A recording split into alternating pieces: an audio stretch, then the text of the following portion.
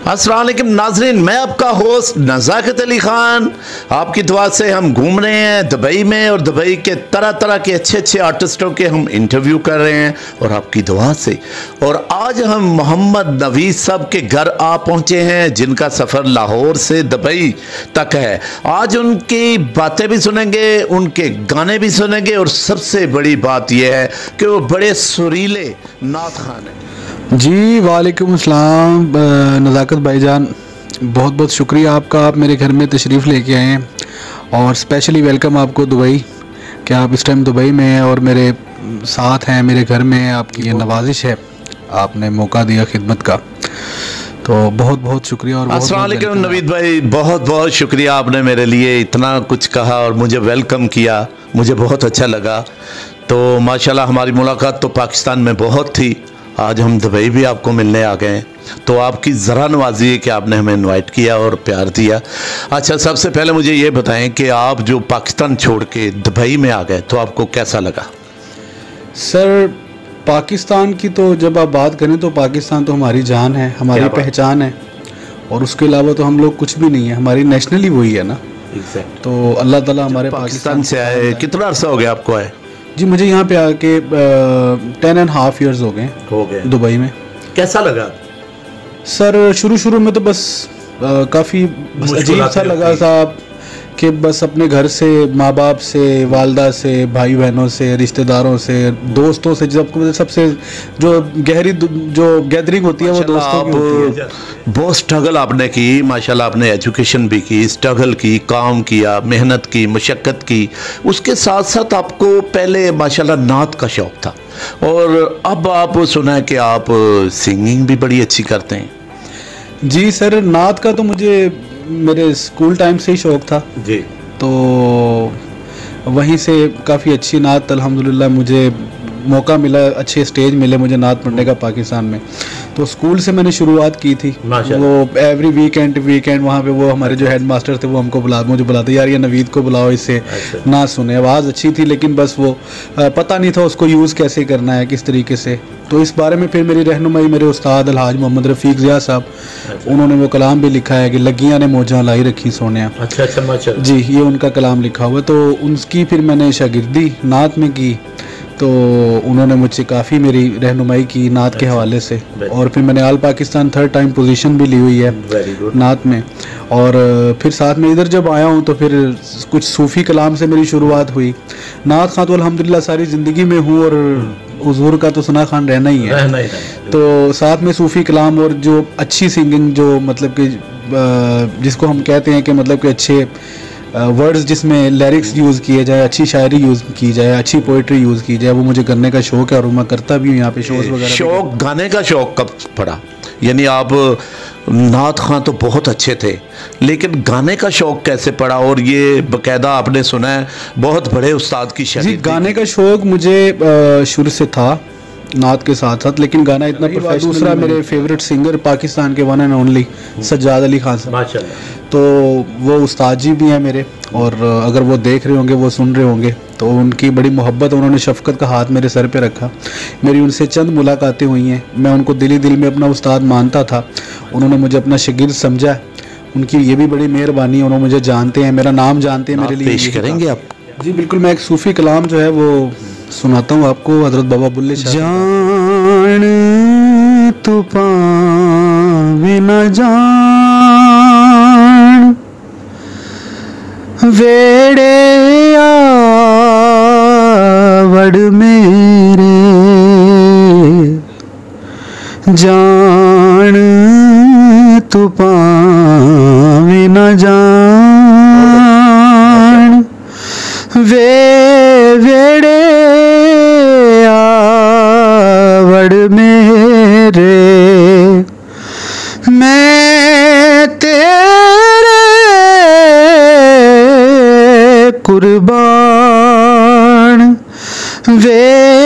वेड़े आवड़ मेरे। जान तू वे न जान। वे वेड़े आवड़ मेरे। माशाल्लाह जी, क्या कहने आपने तो बहुत सुर में नात सुनाई और क्या बात एक समा बाँध दिया। अब मुझे ये बताएँ कि आपको उस्ताद सजाद अली जो हैं माशाल्लाह उनके बड़े हिट सॉन्ग हैं। तो माशाल्लाह वो नीम क्लासिकल भी गाते हैं और सारे सारा काम ही कर लेते हैं क्योंकि उस्ताद आदमी है ना। तो उनकी शागिर्दी को कितना अरसा हुआ और उनकी कोई चीज़ हमें सुनाए? बेसिकली ये एक वाक़ हुआ था उनकी शागिर्दी का। तो मेरी सजाद अली साहब से मुलाकात हुई थी। मैं उस टाइम यहाँ पे अजमान में ड्राइविंग सीख रहा था। तो वो मैं अक्सर अपने उस्ताद को कहता था कि आप लेके ना इस गाड़ी को बीच की तरफ़ चलें। तो वहाँ पे जाकर ना एक चाय भी पीते हैं वो जो मुझे ड्राइविंग की तालीम देता था जो है टीच करता था मुझे। तो मैं एक मरतबा वहाँ पे गया तो सजाद अली साहब वहाँ से चाय लेके तो अपनी गाड़ी में बैठ रहे थे। तो मैं वहीं पे जाके मैंने उनको ऐसे करके पकड़ लिया मैं कहा उस्ताद जी मैं तो बड़ी देर का आपको ढूंढ रहा हूँ। आप यहाँ पे यार जुम्मे वाले दिन आप आ जाना। तो वहाँ पे फिर उन्होंने अपना मुझे नाम दिया। उनकी बड़ी मेहरबानी है। उन्होंने थोड़ी सी मोहब्बत की मेरे साहिल पे खड़े हो तुम्हें क्या गम? चले जाना। साहिल पे खड़े हो तुम्हें क्या गम? चले जाना। मैं डूब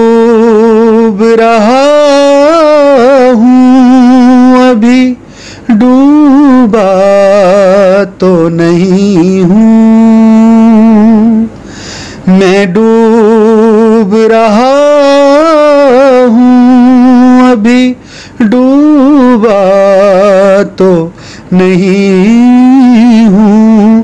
ए वादा फरामोश, मैं तुझसा तो नहीं हूँ।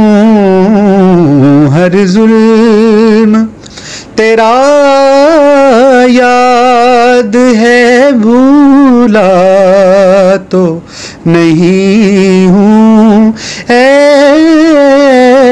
वादा फरामोश मैं तुझसा तो नहीं हूँ हर जुल बहुत अच्छा।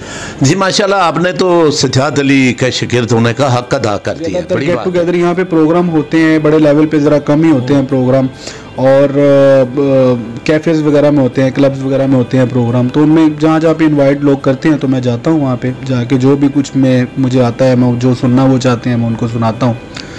कुछ लोग सज्जाद अली साहब का कुछ सुनते हैं कुछ नुसरत फ़तेह अली खान साहब का कुछ सुनते हैं। अच्छा एक बात पूछनी थी कि आपका वैसे सज्जाद अली तो आपके उस्ताद हैं। उनके अलावा आप किन को सुनते हैं जब आपका दिल करे? सज्जाद अली साहब के अलावा मैं हरिहरन साहब को सुनता हूँ खुद उनको लाइक करता हूँ और उसके बाद नुसरत फ़तेह अली खान साहब भी हैं।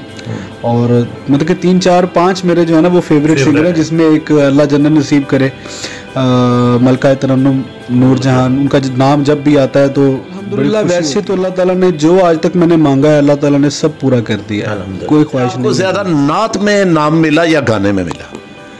मुझे ज़्यादा नात में नात नाम मिला। अच्छा नात में? हाँ जी अल्हम्दुलिल्लाह मुझे नात में बहुत ज़्यादा नाम मिला और गाने में भी मिला है नाम लेकिन अभी उस लेवल पे नहीं है। अल्लाह ताला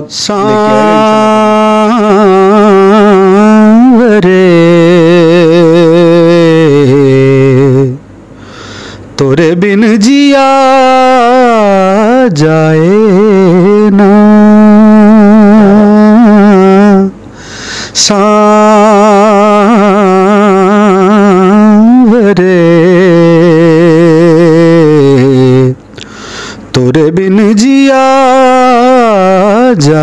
जाए ना जलू तोरे प्यार में, करूँ इंतज़ार तेरा। किसी से कहा जाए ना। सांवरे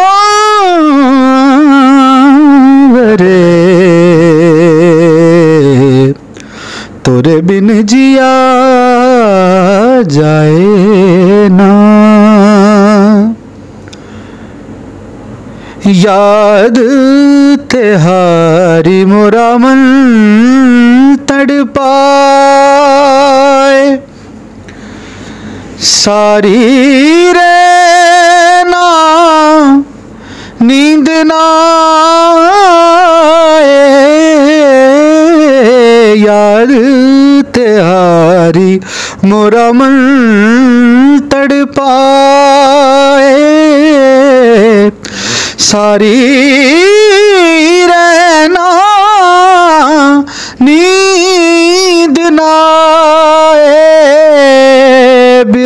की मारी देखूँ राह तिहारी। दो नैनों के दीप जलाए। जलू तोरे प्यार में करूँ इंतज़ार। तेरा किसी से कहा जाए ना। सांवरे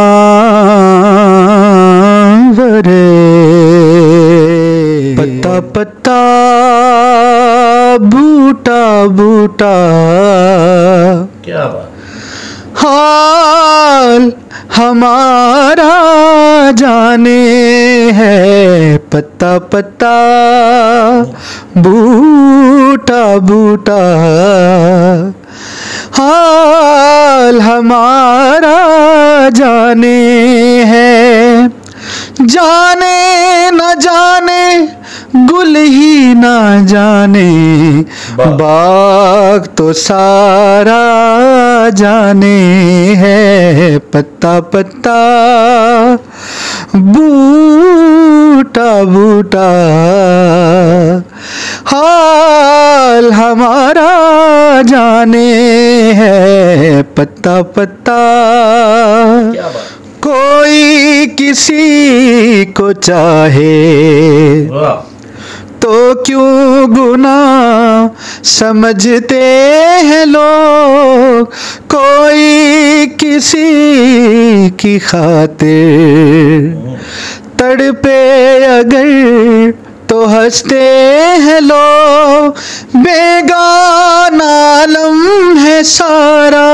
बहुत अच्छे यहाँ तो कोई हमारा दर्द नहीं। पहचाने है पत्ता पत्ता बूटा बूटा हाल हमारा जाने है। पत्ता नाज़रीन, हमारे साथ थे मोहम्मद नबी साहब। तो माशाल्लाह बहुत सुरीले बहुत ही सुरीले। तो मैं आपसे एक बात और पूछना चाहता हूँ कि आप कोई जो म्यूज़िक करने वाले लोग हैं उनको कोई टिप्स देना चाहते हैं?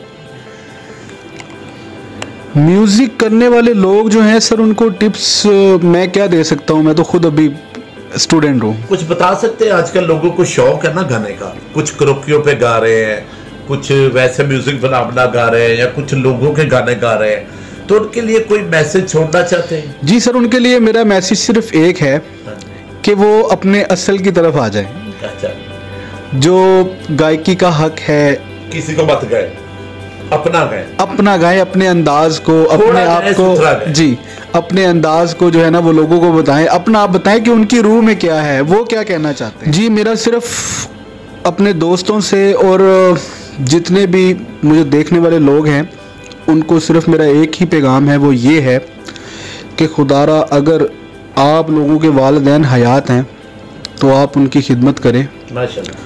और उनकी बात माने उनकी फर्मा बरदारी करें और उनको उफ भी ना करें। क्योंकि ये नेमत वो नेमत है कि जो एक मरतबा चली जाती है फिर वापस नहीं आती है।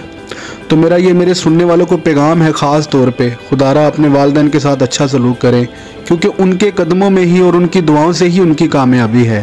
दुनिया हमारे साथ थे मोहम्मद नवीज साहब आपने उनकी बड़ी मीठी मीठी बातें और तनकीद भी बड़ी अच्छी सुनी। उम्मीद करता हूँ आपको हमारा ये प्रोग्राम भी बहुत अच्छा लगेगा। और इन ताला हमारे प्रोग्राम देखते रहें और हमेशा की तरह हमारे साथ रहें। आपका अपना नज़ाकत अली खान, अल्लाह हाफिज़।